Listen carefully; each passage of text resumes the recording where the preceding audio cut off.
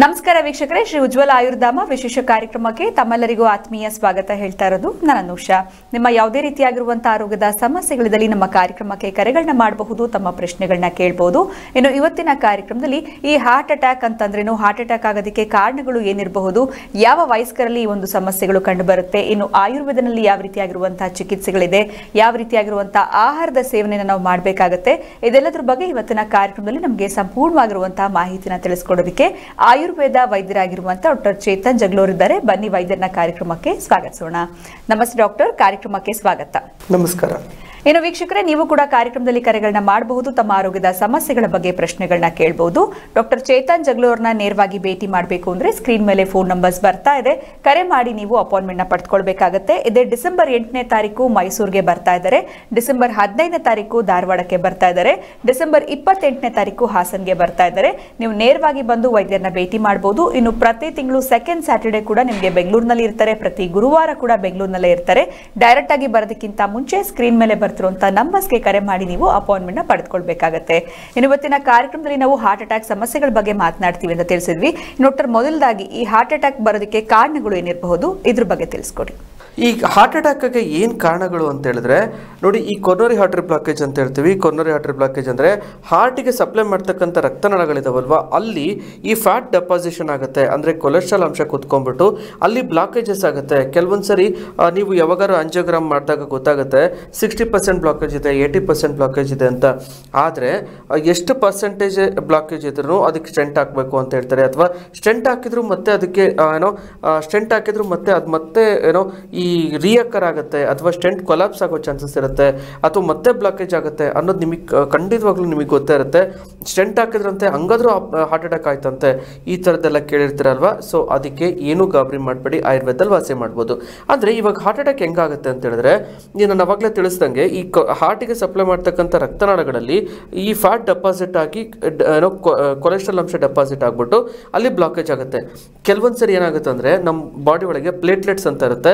ಆ platelets occlusion ಆಗುತ್ತೆ. ಆದರೆ ಗಟ್ಟಿ ಆಗ್ಬಿಟ್ಟು ಅಲ್ಲಿ ಬಂದು ಸಡನ್ನಾಗಿ ಕುತ್ಕೊಂಡ್ಬಿಡುತ್ತೆ. ಯಾವಾಗ ಸಡನ್ನಾಗಿ ಕೂತ್ಕೊಳ್ತಲ್ಲ, ರಕ್ತ ಸಂಚಾರ ಸಡನ್ನಾಗಿ ಡ್ರಾಪ್ ಔಟ್ ಆಗಿಬಿಡುತ್ತೆ.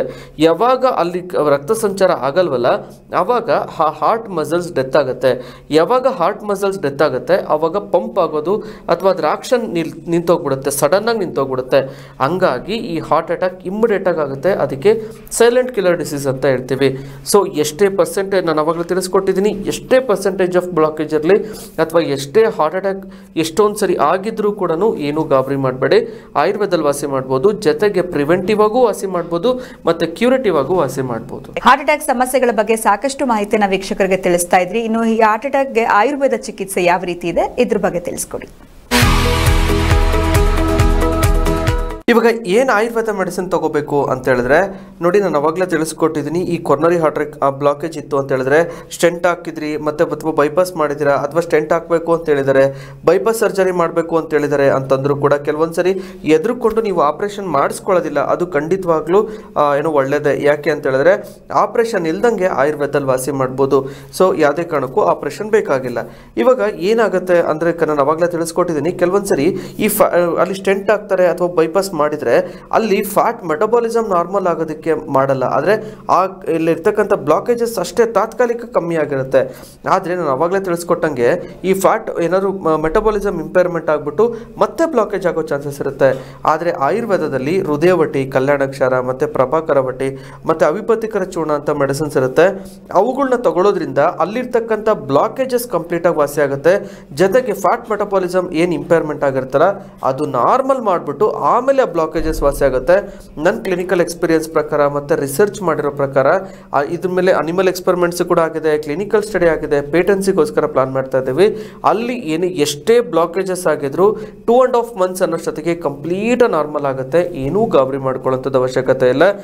ಎಷ್ಟೊಂದು ಸರಿ ಏನೋ ಕೆಲವೊಂದು ಏನೋ ಹೃದಯಾಲಯಗಳಲ್ಲಿ ಆಪರೇಷನ್ ಮಾಡಬೇಕು, ಮಾಡೋಕ್ಕೂ ಆಗಲ್ಲ, ಸ್ಟೆಂಟು ಹಾಕೋಕ್ಕಾಗಲ್ಲ ಕಂಪ್ಲೀಟಾಗಿ ಆಟರ್ ಬ್ಲಾಕೇಜ್ ಆಗಿದೆ ಅಂತಂದ್ರೂ ಕೂಡ ಐದಾರು ವರ್ಷದಿಂದ ಆರಾಮಾಗಿದ್ದಾರೆ ಏನೂ ಗಾಬರಿ ಮಾಡ್ಕೊಳ್ಳೋಂಥದ್ದು ಅವಶ್ಯಕತೆ ಇಲ್ಲ.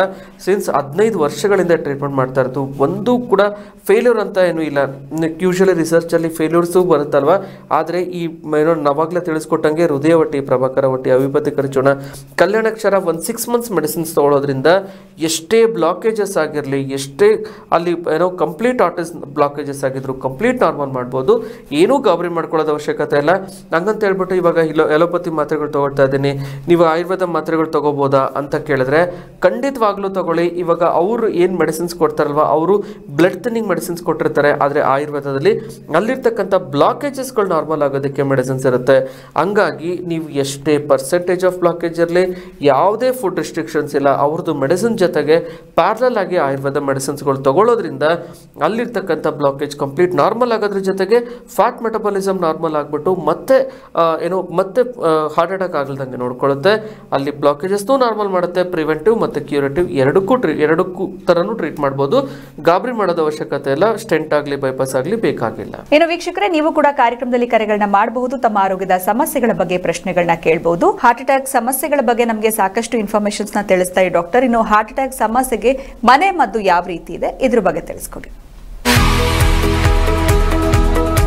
ಇವಾಗ ಹಾರ್ಟ್ ಅಟ್ಯಾಕಾಗೆ ಏನು ಮನೆ ಮದ್ದು ಮಾಡ್ಕೋಬೇಕು ಅಂತ ಹೇಳಿದ್ರೆ ಒಂದು ಸಿಂಪಲ್ ಆಗಿರ್ತಕ್ಕಂಥ ರೆಮಿಡಿ ಹೇಳ್ಕೊಡ್ತೀನಿ ನೋಡಿ. ಒಂದು ಶುಂಠಿ, ಮೆಣಸು, ಹಿಪ್ಲಿ ಮತ್ತು ತ್ರಿಫಲ ಚೂರ್ಣ ಹಾಕ್ಬಿಟ್ಟು ಸ್ವಲ್ಪ ಸೈಂಧವ ಲವಣ ಹಾಕಿ ಆ ಪೌಡ್ರನ್ನ ದಿನ ಒಂದೊಂದು ಚಮಚ ತಿಂತಾ ಬರೋದ್ರಿಂದ ನಿಮಗೆ ಅಟ್ಲೀಸ್ಟ್ ಸ್ವಲ್ಪ ತಾತ್ಕಾಲಿಕ ಆ ಬ್ಲಾಕೇಜಸ್ ನಾರ್ಮಲ್ ಆಗೋದಕ್ಕೆ, ಆಮೇಲೆ ಫ್ಯಾಟ್ ಮೆಟಬಾಲಿಸಮ್ ನಾರ್ಮಲ್ ಮಾಡ್ಕೊಡೋಕ್ಕೆ ಖಂಡಿತ ಅನುಕೂಲ ಆಗುತ್ತೆ. ಇನ್ನು ಹಾರ್ಟ್ ಅಟ್ಯಾಕ್ ಸಮಸ್ಯೆಗಳ ಬಗ್ಗೆ ಸಾಕಷ್ಟು ತಿಳಿಸ್ತಾ ಇದ್ರಿ. ಯಾವ ರೀತಿಯಾಗಿರುವಂತಹ ಆಹಾರ ವಿಹಾರವನ್ನು ತಗೊಳ್ಬೇಕಾಗತ್ತೆ? ಇದ್ರ ಬಗ್ಗೆ ತಿಳಿಸ್ಕೊಡಿ. ಇವಾಗ ಹಾರ್ಟ್ ಅಟ್ಯಾಕ್ಗೆ ಏನು ಆಹಾರ ತಗೋಬೇಕು, ಯಾವ ರೀತಿ ನಾವು ಲೈಫ್ ಲೀಡ್ ಮಾಡಬೇಕು ಅಂತ ಹೇಳಿದ್ರೆ, ನೀವು ನೆನ್ಪಿಟ್ಕೊಳ್ಳಿ, ಎಷ್ಟೊಂದು ಜನ ಹೇಳಿರ್ತಾರೆ, ತುಪ್ಪ ತಿನ್ನಬಾರ್ದು ಅಂದರೆ ಜಿಡ್ಡಿನಂಶ ತಿನ್ನಬಾರ್ದು ಅದೆಲ್ಲ ಕೊಲೆಸ್ಟ್ರಾಲ್ ಆಗ್ಬಿಡುತ್ತೆ ಅಂತ ಒಂದು ನೆನ್ಪಿಟ್ಕೊಳ್ಳಿ, ಯಾವಾಗ ನೀವು ತುಪ್ಪ ತಿಂತೀರಲ್ವ, ಒಂದು ದಿನಕ್ಕೆ ಒಂದೊಂದು ಚಮಚ.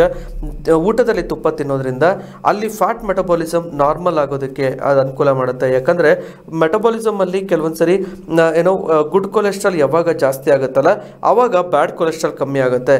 ಯಾವಾಗ ಬ್ಯಾಡ್ ಕೊಲೆಸ್ಟ್ರಾಲ್ ಕಮ್ಮಿ ಆಗುತ್ತೆ ಆವಾಗ ಗುಡ್ ಕೊಲೆಸ್ಟ್ರಾಲ್ ಜಾಸ್ತಿ ಆಗುತ್ತೆ.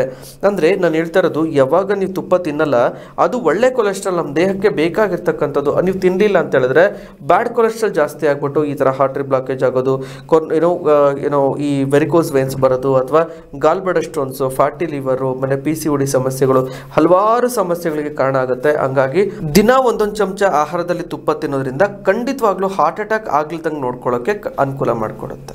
ಡಾಕ್ಟರ್, ಸಾಕಷ್ಟು ಇನ್ಫಾರ್ಮೇಶನ್ಸ್ ಈ ಒಂದು ಹಾರ್ಟ್ ಅಟ್ಯಾಕ್ ಸಮಸ್ಯೆಗಳ ಬಗ್ಗೆ ತಿಳಿಸ್ತಾ ಇದ್ರಿ. ಇನ್ನು ಹಾರ್ಟ್ ಅಟ್ಯಾಕ್ ಕುರಿತಾಗಿ ಟಿಪ್ಸ್ ಆಫ್ ದ ಡೇ ನಲ್ಲಿ ಯಾವ ವಿಚಾರದ ಬಗ್ಗೆ ತಿಳಿಸ್ಕೊಡ್ತೀರಾ?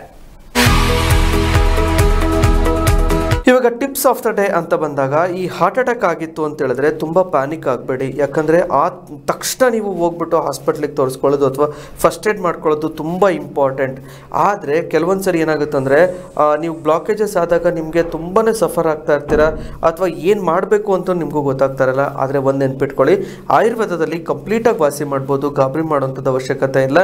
ಯಾರಿಗಾದ್ರೂ ನಿಮ್ಮ ಫ್ರೆಂಡ್ಸ್ಗೋ ಅಥವಾ ರಿಲೇಟಿವ್ಸ್ಗೋ ಅದನ್ನು ಈ, ಇನ್ಫ್, ಇನ್ನು ಈ ಪ್ರೋಗ್ರಾಮ್ ಮುಗ್ದಾದ ನಂತರ ಯೂಟ್ಯೂಬಲ್ಲಿ ಅಪ್ಲೋಡ್ ಆಗುತ್ತೆ. ಅದನ್ನ ಅವ್ರಿಗೂ ಶೇರ್ ಮಾಡಿ ನಿಮ್ಮ ಗ್ರೂಪಲ್ಲಿ ಕೂಡ ಬಂದಿರುತ್ತೆ. ಕೆಳಗಡೆ ನಂಬರ್ ಬರ್ತಾ ಇದೆಯಲ್ಲ ನಂಬರಿಗೆ ಫೋನ್ ಮಾಡಿ, ನನ್ನ ಪರ್ಸ್ನಲ್ ನಂಬರ್ ಮತ್ತು ನನ್ನ ಅಸಿಸ್ಟೆಂಟ್ ನಂಬರ್ ಅವರು ನಿಮ್ಗೆ ವಾಟ್ಸಪ್ ಗ್ರೂಪಲ್ಲಿ ಆ್ಯಡ್ ಮಾಡ್ತಾರೆ. ಅವಾಗ ಎಲ್ಲ ಎಪಿಸೋಡ್ಸು ಎಲ್ಲದೂ ನಿಮ್ಮ ಗ್ರೂಪಲ್ಲಿ ಶೇರ್ ಆಗ್ತಾ ಇರುತ್ತೆ. ಆ, ಅದರದಿಂದನೂ ನೀವು ಎಷ್ಟೊಂದು ಮಾಹಿತಿ ತಿಳ್ಕೊಂಡು ನೀವು ಅದರಿಂದ ಏನೋ ಡಿಸೀಸಿಂದ ವಾಸಿ ಬರೋದಕ್ಕೆ ನಿಮ್ಗೆ ಅನುಕೂಲ ಮಾಡ್ಕೊಳ್ಳುತ್ತೆ ಇನ್ನು ಇವತ್ತಿನ ಕಾರ್ಯಕ್ರಮದಲ್ಲಿ ಹಾರ್ಟ್ ಅಟ್ಯಾಕ್ ಸಮಸ್ಯೆಗಳ ಬಗ್ಗೆ ನಮಗೆ ಸಾಕಷ್ಟು ಇನ್ಫಾರ್ಮೇಶನ್ಸ್ನ ವೈದ್ಯರು ತಿಳಿಸ್ಕೊಟ್ಟಿದ್ದಾರೆ.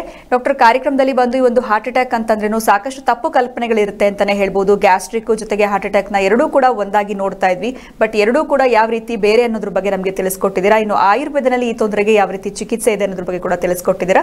ಬಹಳ ಧನ್ಯವಾದಗಳು ತಮಗೆ. ನಮಸ್ಕಾರ. ನಮಸ್ತೆ. ಇನ್ನು ವೀಕ್ಷಕರೇ ಕಾರ್ಯಕ್ರಮದಲ್ಲಿ ಕರೆಗಳು ಸಿಗಲಿಲ್ಲ. ನೀವು ಕೂಡ ಡಾಕ್ಟರ್ ಚೇತನ್ ಜಗ್ಲೋರ್ನ ನೇರವಾಗಿ ಭೇಟಿ ಮಾಡಬೇಕು ಅಂತಂದ್ರೆ ಸ್ಕ್ರೀನ್ ಮೇಲೆ ನಿಮಗೆ ಅಪಾಯಿಂಟ್ಮೆಂಟ್ ಸಂಖ್ಯೆಗಳು ಬರ್ತಾ ಇದೆ.